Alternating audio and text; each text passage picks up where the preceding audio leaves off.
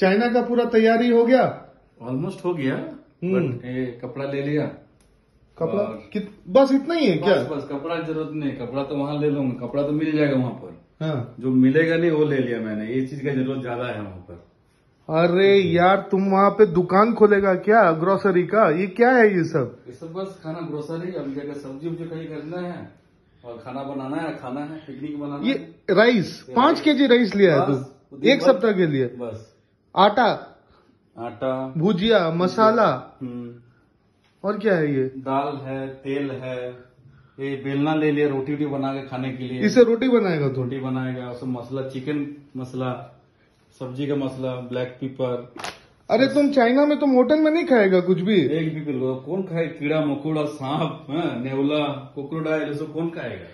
अरे my God तुम तो पूरा वहाँ पे एकदम मतलब दुकान खोल के आएगा तुम ग्रोसरी का एकदम हाँ? शाम को ऑफ़िस से आने के बाद झालमुड़ी बनाएँगे उसके लिए मुड़ी भी ले लिया है सही है सही है एकदम तुम्हारा चाइना ट्रिप जो है ना एकदम टका टक टकाटक टकाटक